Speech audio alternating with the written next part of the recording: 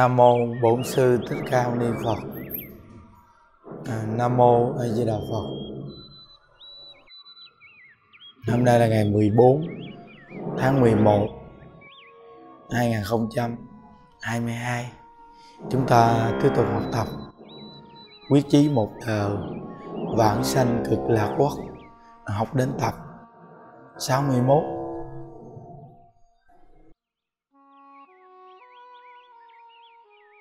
à, những đức đọc một công đoạn để chúng ta học tập quý vị xã hội ngày nay khác với xã hội ngày xưa. Ngày xưa còn có mấy đời từ ông cố đến cháu ở cùng với nhau. Thời đại ngày nay người già càng lúc càng cô độc con cái đa phần là bất hiếu rất ít sống chung.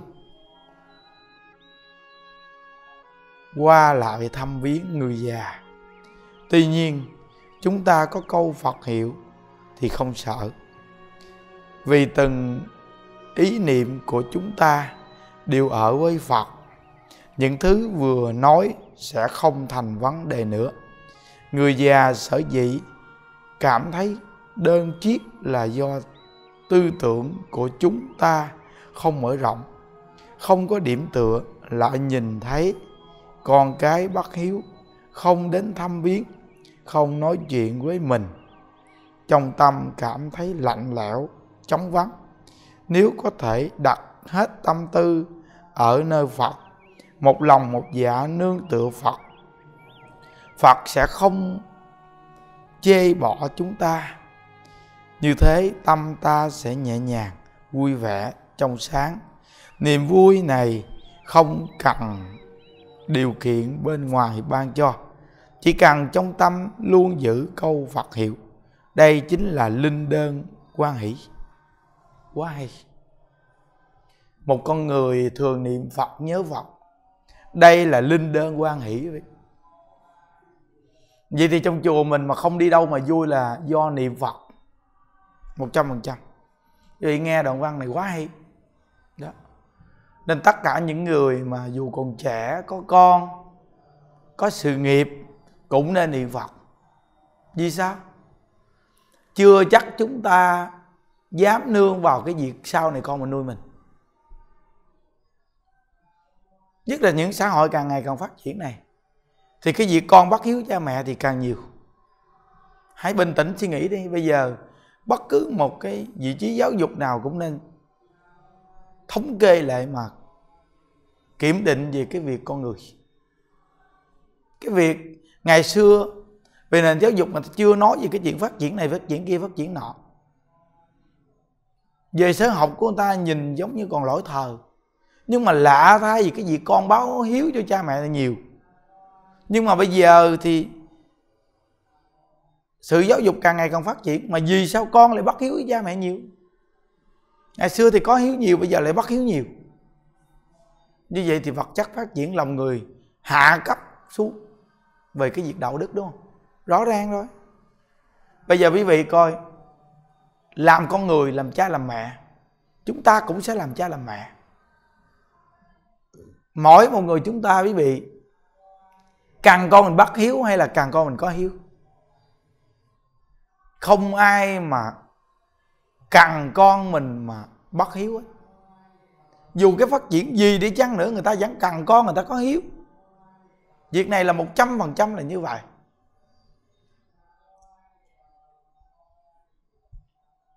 Nên từ từ rồi, một gia đình đều là dùng thủ đoạn ở trong một gia đình. Nên sự khổ đau của gia đình này nhiều nhiều nên tổ sư nói rằng, chỉ cần chân thật, niệm có Phật hiệu, đây chính là linh đơn quan hỷ. Ờ, chân thật niệm có Phật hiệu, đây là linh đơn quan hỷ. Câu này hay.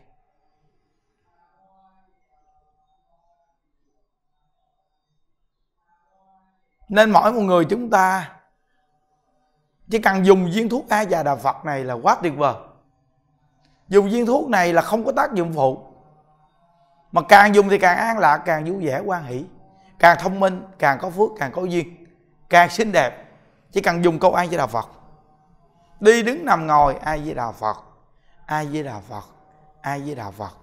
Cứ là đi đâu cũng a di đà phật. A di đà phật. A di đà phật a di đà phật. A di đà phật. A di đà phật. Cứ như vậy đi đâu cũng đeo cái máy niệm phật. Những đức nói duyên câu ai với đạo phật là phước duyên thù thắng. Duyên với câu ai với đạo phật là đại phúc báo nhân duyên. Cứ duyên với câu ai với đạo phật đi là đại phúc báo nhân duyên. Đặc biệt thù thắng.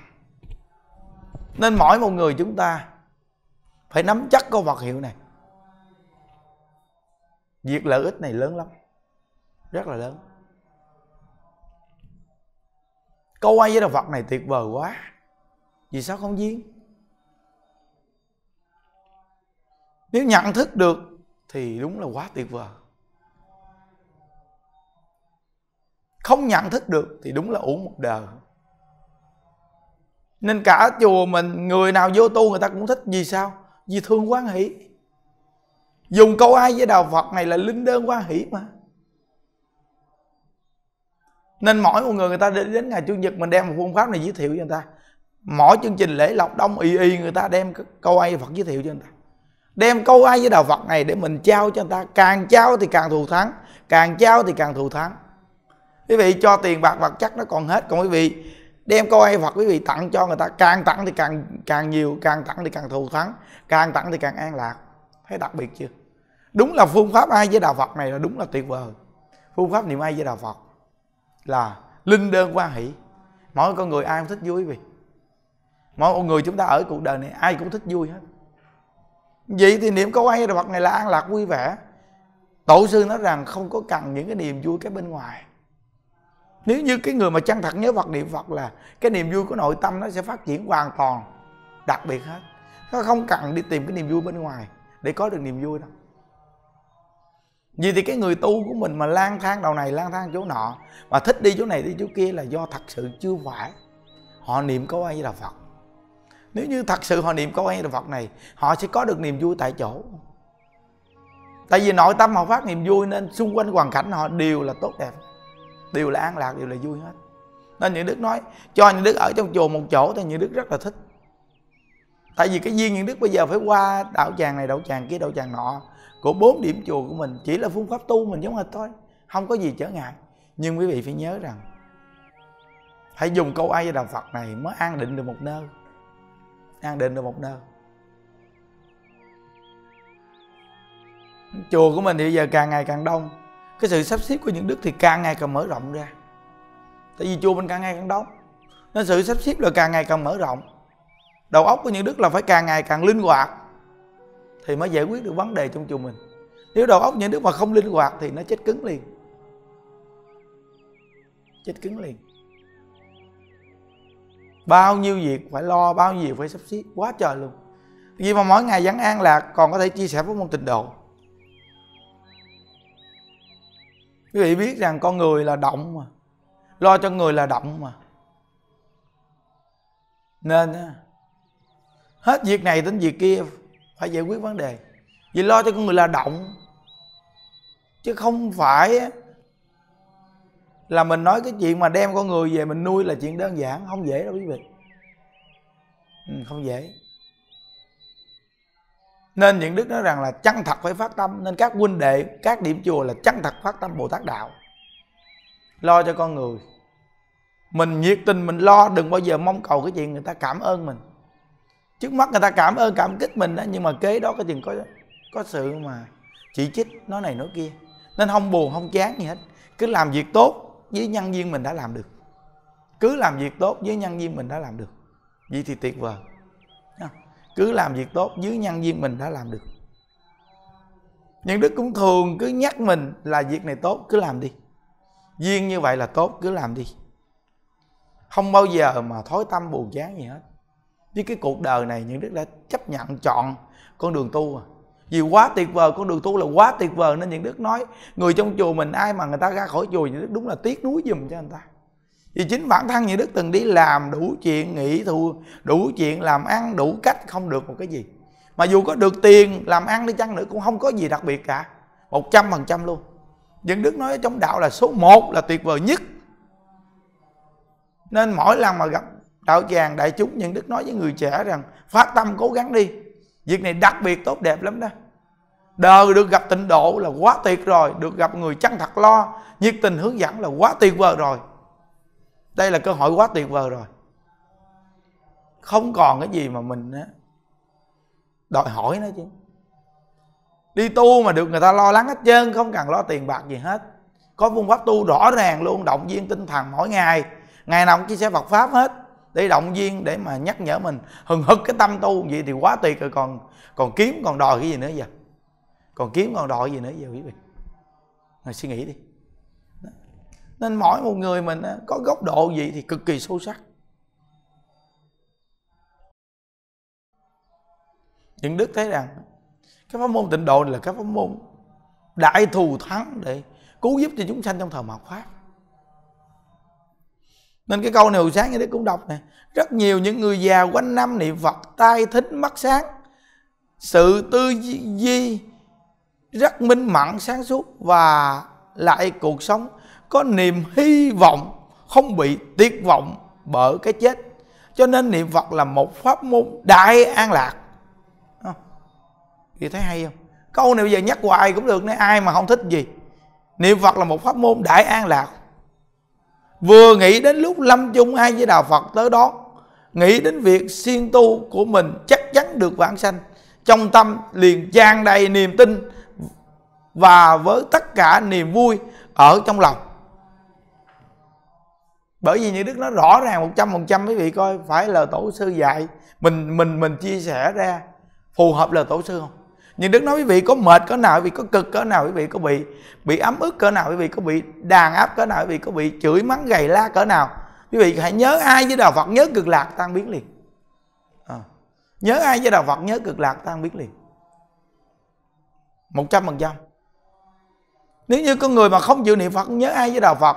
Thì quý vị sẽ thấy mình bị thiệt thòi. Nên những đức khuyên tất cả những người vợ, những người làm vợ, làm chồng. Sống trong cuộc đời này nó có cái nhân và cái quả. Cái nhân và cái quả là chính mình đã gieo nhân thì mình gặt quả. Đừng nên dùng hai chữ mình thiệt thòi. Đừng có nói rằng chồng tôi khó này, khó kia, khó nọ. Có những cái mình hãy chấp nhận. Thấy được rồi là được. Đừng bao giờ mình được rồi cái mình đòi hỏi thêm nữa những việc nó phải tuyệt vời và tròn vẹn hơn nữa.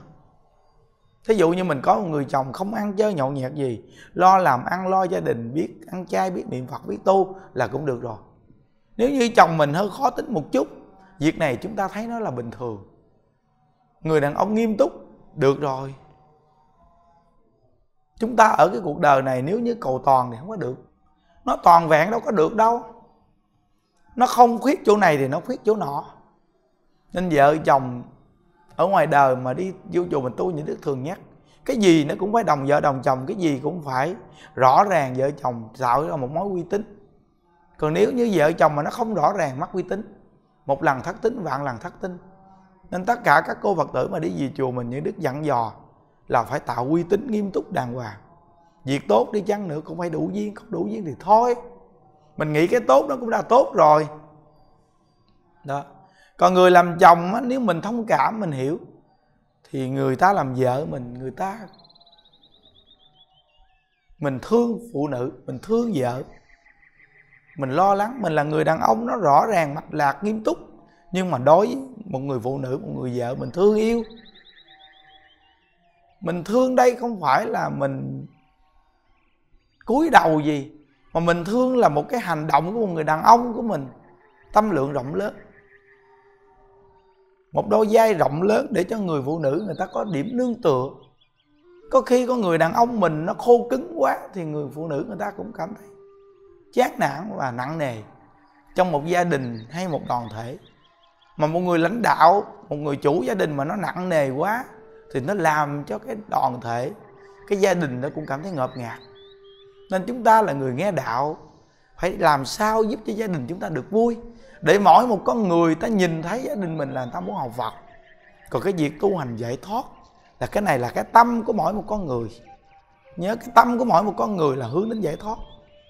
Giải là hiểu cuộc đời này vô thường. Đã là hiểu nó là vô thường, thì chúng ta đi khó khăn, khó dễ nhau làm gì? Có những cái gì không phải thì ngồi xuống nói chuyện rõ ràng.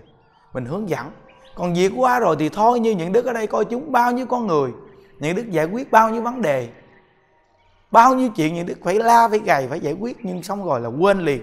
Những đức không có bao giờ mà nặng nề trong tâm, đặt vấn đề về tiêu cực, những đức luôn luôn sống tích cực. Vì những gì đã nói rồi là cho qua, những gì mình đã làm hết trách nhiệm mình rồi thì thành công hay thất bại là tùy duyên.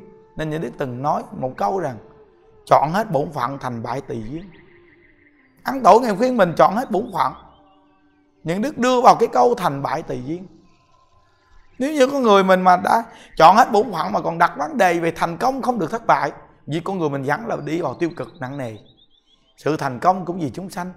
Thất bại là do chúng sanh thiếu phước thì thôi. Chúng ta cũng thiếu duyên, thiếu phước thì thôi. Chúng ta quay về niệm ai với đạo phật thì quá tuyệt. Nên tất cả những người nữ mà nghe những đức nói chuyện, nhất định tâm trạng vì sẽ rất là vui, rất là an lạc dù như thế nào chúng ta cũng cảm thấy đặt một vấn đề tích cực thì trong gia đình mình mình sẽ thấy thoải mái lắm. Quý vị phải nhớ rằng, người ta mà cảm thấy gia trưởng nặng nề thì người ta sẽ bị bị khó chịu lắm. Còn mình á, mình là người học phật, nó phải cởi mở nhẹ nhàng, thoải mái, thì mình sẽ được an lạc tự tại liền. Cứ nghe lời những đức đi thì tự nhiên mình mình tu học nó có kết quả liền vậy đó. Tại vì trong cái cuộc đời này nó đâu có cái gì tròn vẹn đâu. Nếu như nó tròn vẹn, tốt đẹp quá thì mình không tu mình không cầu sanh cực lạc.